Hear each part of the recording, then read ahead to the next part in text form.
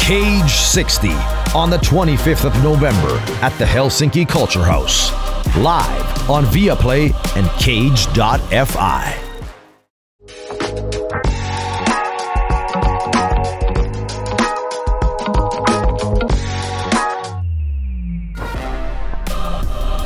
Emil Sergeant Kurhela is the hottest young North European rising star with a perfect 100% stoppage rate. Mä oon ottelijana monipuolinen, pystyn mukautumaan monesti. The Finn skyrocketed in the rankings, storming through his opponents in the first round until his last fight, where he was handed his first loss in devastating fashion. Kurhela now seeks to build another impressive win streak and keep rising to the top. Tuntuu hyvältä nousta toista kertaa Cage pääotteluun. Mun tuleva vastustaja on räjähtävä, hyvä pystyukko, mutta kyllä sille on omat hommansa mitä on keksitty. Peyman Hachiev is the definition of a knockout artist. The three time national kickboxing champion of Georgia shines in striking exchanges and is capable of wrecking his opponents with heavy hands and explosive kicks. მაგრამ უბრალოდ ჩემ თავს ძალიან კარგად ვარ მომზადებული. მოსაგებად მოვიდით და ის რომ მოვიგე. Inside the cage, Hachiev is a dangerous problem for anyone. ჩემ მოძან ვფიქრობ რომ მაგარი მე მეუზოლია კარგად კომში. მაგრამ ვერ გაუძლებს ჩემ ბატონებს. ისე რომ დავანაკავ Will the highly talented Sergeant Kurhela roll his hype train back to winning ways? Or will the explosive Georgian powerhouse in Haciev score another flashy knockout? Mött programmeer round two, which worked uh, Mara Euroranchi, eli Kautsalipsan Euroranchi, on kautta. Ottelu tulee päättymään ennen täyttä aikaa matossa jollain lopetuksella, ja sitä ei vielä kerrota. The stakes are high, ladies and gentlemen. This is what you have been waiting for. We give you the main event Emil Kurhela versus Peyman Haciev.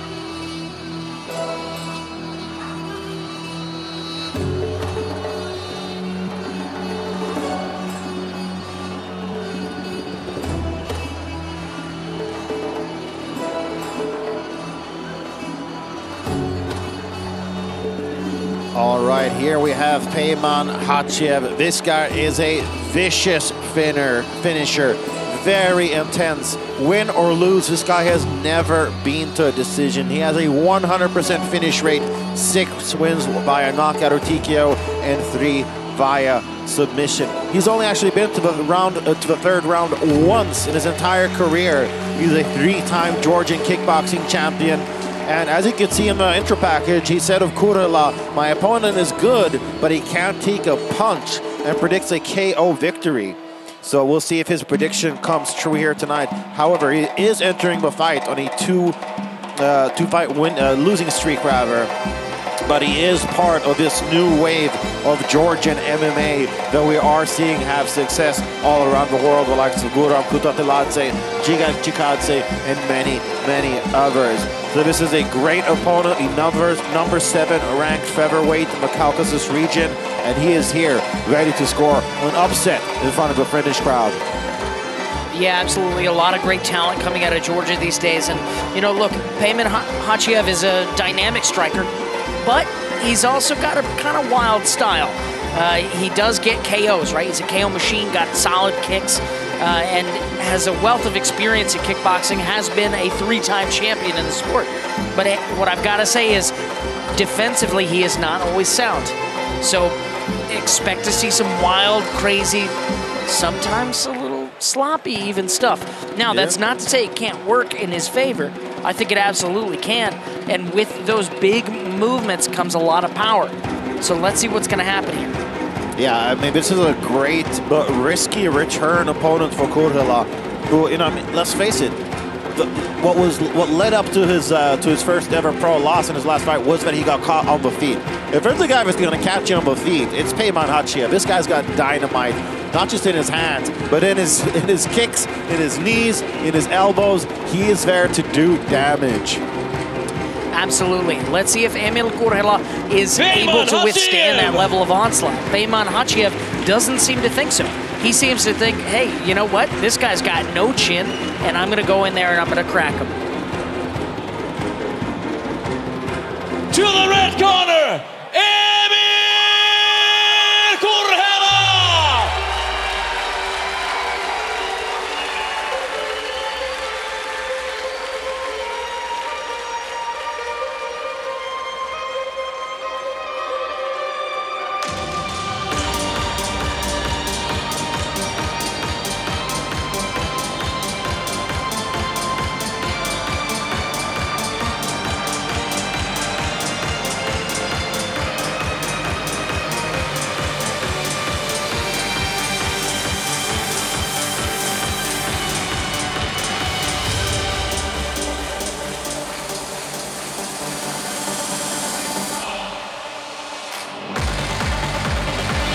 Here he comes, marching to the cage. Sergeant Emil Kurhela, a highly decorated uh, amateur fighter and a top Nordic prospect right now. He is, in fact, the most experienced amateur in Finnish mixed martial arts history.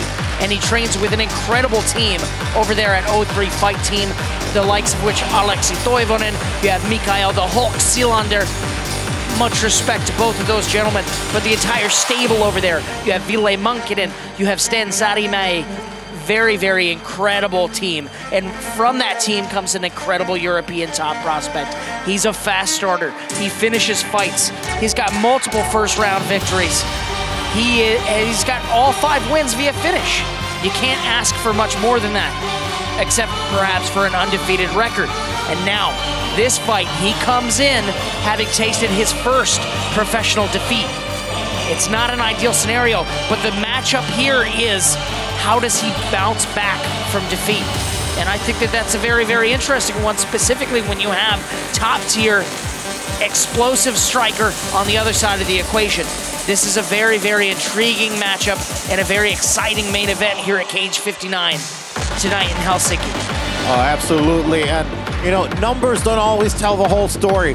But these are two fighters with a 100% finish rate each. All of their combined fights have, none of them have ever gone the distance and been decided by the judges. So, you know, statistically, this fight won't either, right? I mean, they both prefer to leave the judges out of the equation. I like that. I know the fans like that as well. And it seems that they do too. Yeah, predictive analytics here are going to say this fight does not go the distance. Uh, how about that hero's welcome for Sergeant Emil Kurhela? And he is called that also because he is an active reserve sergeant in the Finnish army. Yeah, he gives a salute to the hometown crowd, and uh, they love him here in Helsinki. All right, let's check out the tail tape brought to you by M Room.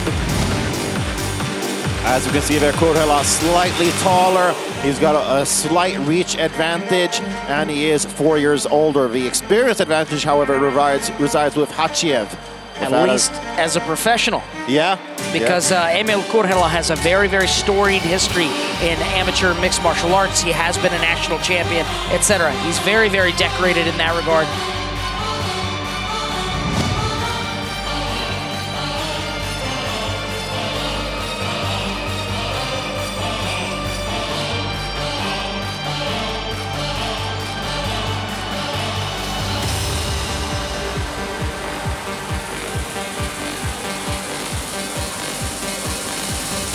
Ladies and gentlemen, this is the main event of the night.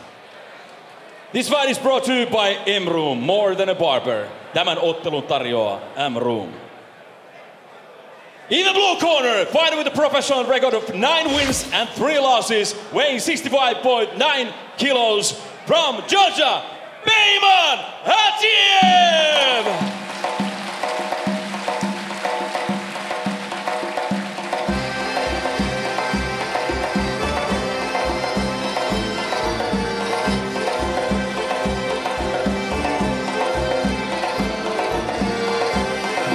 Corner, fighter with a professional record of five wins and only one loss.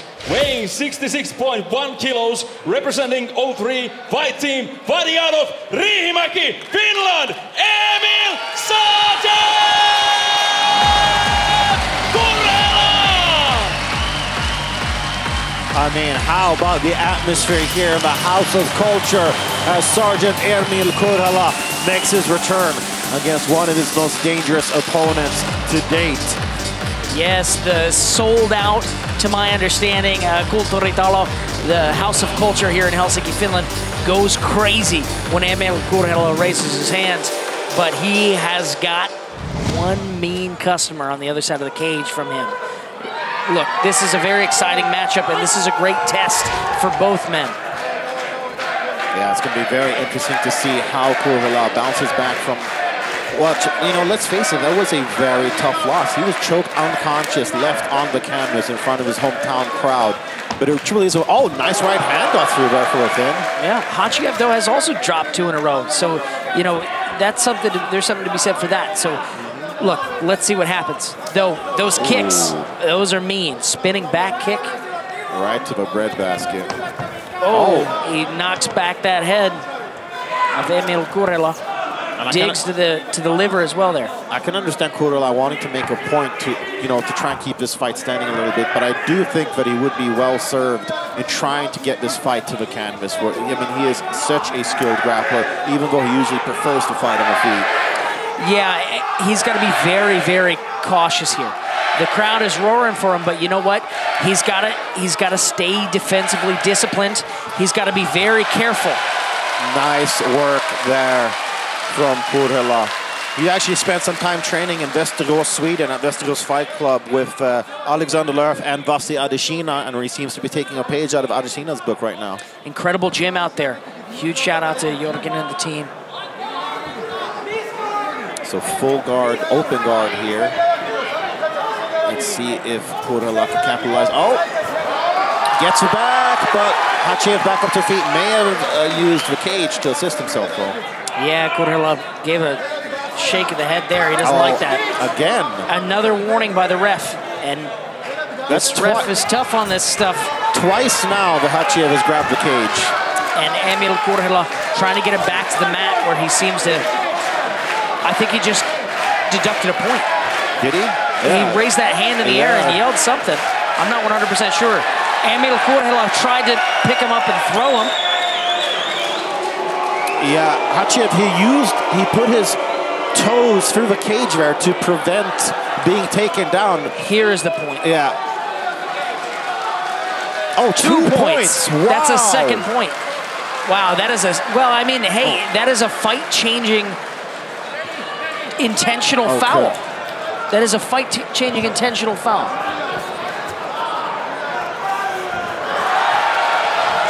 This time he stopped the action. Now they're in the open. There you go. Those crazy spinning kicks. Just insanity. Haciev now knows, though, it is very, very difficult to come back and win when you have had two points deducted. That being So- said, though, none of these guys have ever gone to a decision. So will that impact the fight? I mean, he's at least going for broke now. If he wasn't before, if he thought, eh, maybe I'll just take this guy, you know, as he comes at me and, and we'll, we'll eke out the victory however we can, now he knows there is basically one path for him. Oh, Emil clocks him with the left hand. oh, and another left hand. Kurhela's got to be careful here, though. I would go back to the grappling. Honestly, Haciev is an explosive striker, very exciting, throwing all sorts of stuff.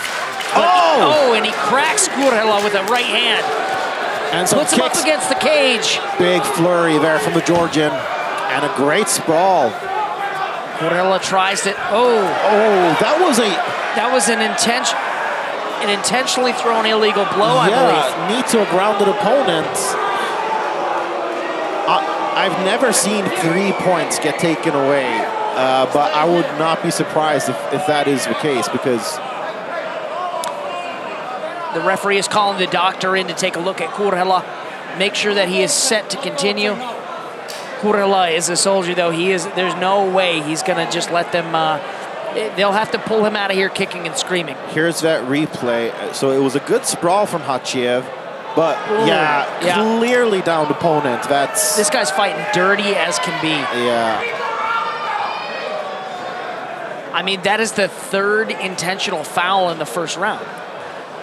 It's uh, that it's ridiculous. Honestly, I I've never seen anything like Fingers it. in the cage, toes in the cage, knee to the head of a grounded opponent.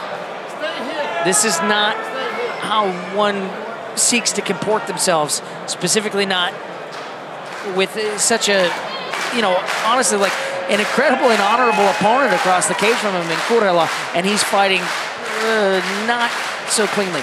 Now, again, perhaps heat of the moment, I'll give him the benefit of the doubt, but that doesn't look great. And it was good. A good thing that Kurhela alerted the referee because I, I think it might have gone slightly unnoticed. Kurhela is recovering. He's saying yes, he can continue to fight. He's just taking his time, and he should. Oh no! Oh, Disqualification. yeah. I The mean, I- doctor has called it. It seems. I mean, it looks looks like Kurhela wants to continue.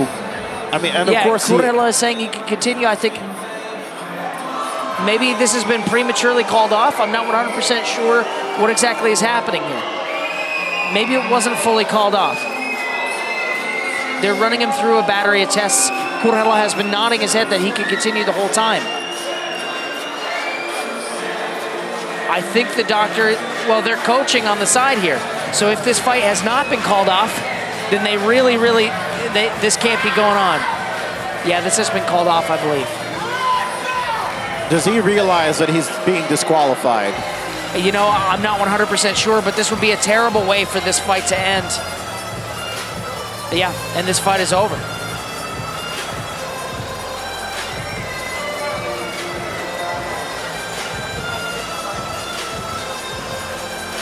Oh, that's a good way to never get invited back to a promotion. An exciting fighter, but man, the way that he comported himself was not good. I, I, I'm, I'm, I mean, it's my job to talk, but I'm, I'm kind of at a loss for words here. How can somebody who's had that many fights not understand the rules? Yeah, but that's not the way Kurhela wants to win either. You know, this is, it, it's brutal. And it, I, I don't know what reaction we're seeing over here. He seems, you know, perhaps disappointed in himself. I'm not 100% sure, but this is, this is rough. Kurhela did every test he could from the dock to try and stay in there. I could see him saying yes, he wanted to continue, nodding. I, I'm not 100% sure what's happening here. Um, I am not intimately familiar with the rules in a scenario like this. Uh, does this become a no contest? Does this become a disqualification loss? I think enough of the match was contested um, for them to say that, and enough fouls were committed in that first round to say, hey, this is a, a disqualification loss. Yeah.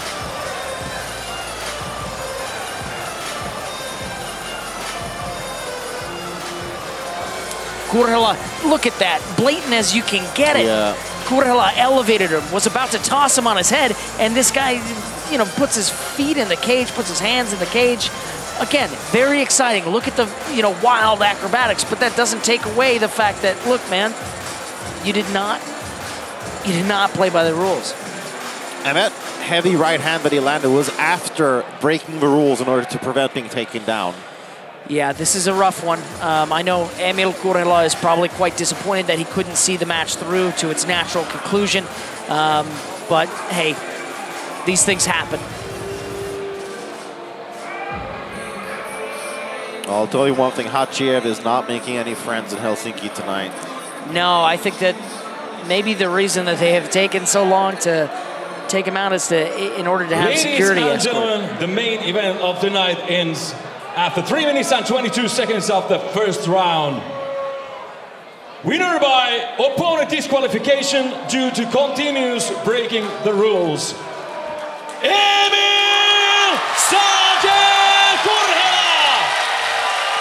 Yeah, I mean, not the way that any of us wanted the fight to end, but like really What choice do you have? Yeah, I mean, disgraceful display of, of just of, of MMA, of the sport of MMA. Yeah, there were multiple blatant fouls. This is not how you want to see these things go. It's a disappointing one for Kurhela, but really, like, that's the only viable end to this. Multiple, you know, hey, I don't, I don't know what's going on in Haciev's head, but you can't believe he's very happy with his performance tonight.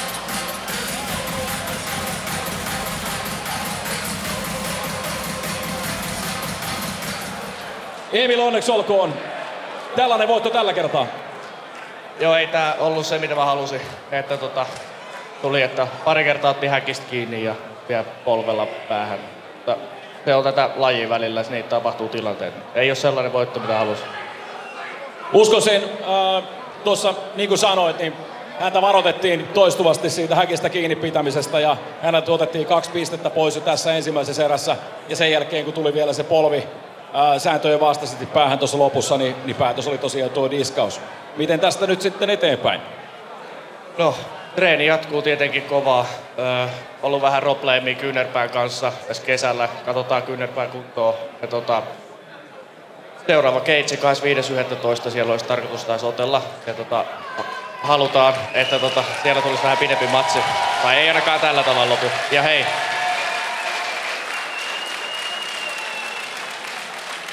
Mä haluan vielä kiittää ihan kaikki, jotka on tullut tänne asti kannustaa. Täällä löytyy fanilippui, täällä on hirveästi, tiedätkö, ihan sikana tuttui jengiä paljon.